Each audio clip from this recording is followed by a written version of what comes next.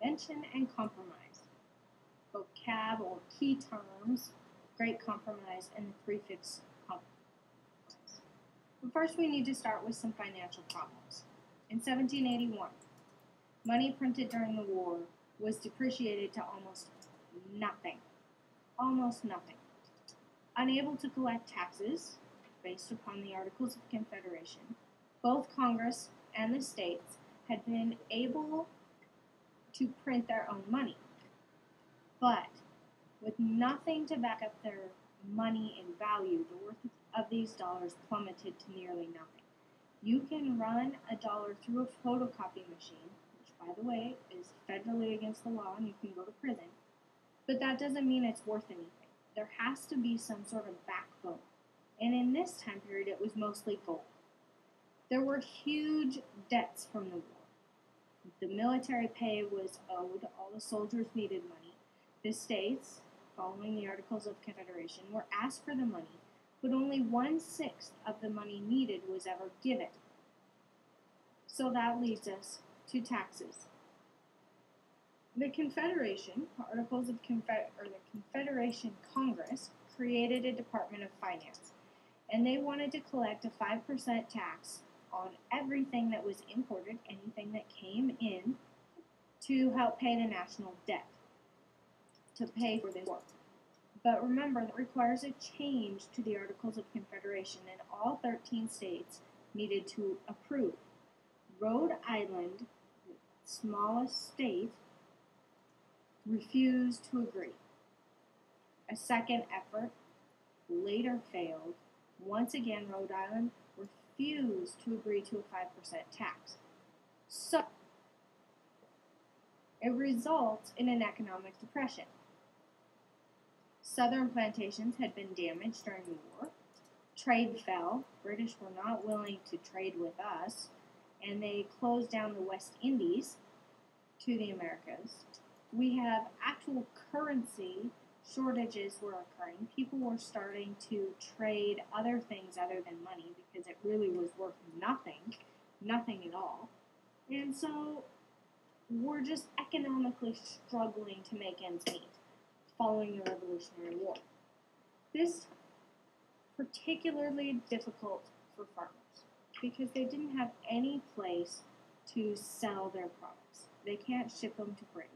Britain doesn't want them so they had problems paying their taxes.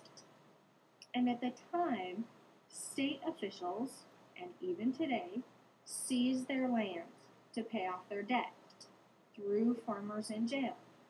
Now, if you can't pay your taxes, you get thrown in jail. It still happens today. The problem was there was deep resentment. Farmers viewed the new government as just another form of tyranny. They wanted the government to issue paper money, make policies, to relieve debtors, to benefit them. All of this was to benefit the farmers.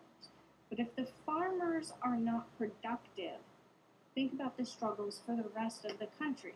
So we have a huge conflict coming up, the first major conflict after we declare independence. So the first major conflict that we have occurs in 1786 when a group of angry farmers led by Daniel Shays forced the courts in Massachusetts to close. Their argument was if the courts are closed, they cannot confiscate farmers' land.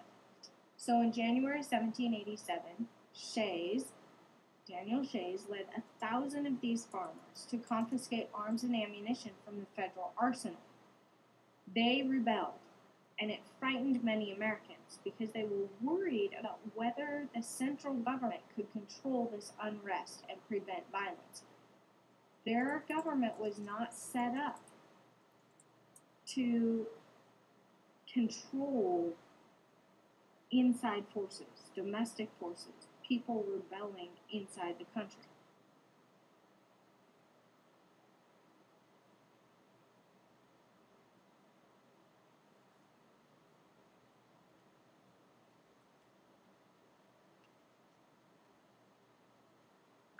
So that was a huge challenge.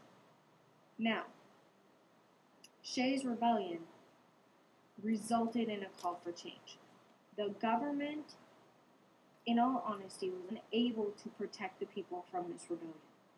What stops the rebellion is George Washington. George Washington collects some um, of his former troops as part of the Revolutionary War and asks them to help him put down this rebellion. And so, while some were satisfied with the government, most believed that the government was useful, especially after Shays' rebellion. Well, two of the Americans that were very active in changing the Articles of Confederation were James Hamilton, or James Madison, I'm sorry, who's on the top, and Alexander Hamilton. Hamilton proposed at a convention in Philadelphia that possible changes needed to be made. The Constitution of the federal government, adequate to the needs of the Union, must be created. So, in Philadelphia, May 1787, 55 delegates from all 13 states and all professions and ages met together. Three delegates were under the age of 30, and Benjamin Franklin was the oldest, over 80 years old. Now, this was one of the hottest summers on record. Just imagine wool clothes, wigs, and no air conditioning. Take a sniff of what Philadelphia must have smelled like. Washington, George Washington, was voted as the presiding officer over this convention. It was closed doors. It was to be kept completely secret from the from the public. And again, remember, hottest summers, wool clothes, no air conditioning, no deodorant.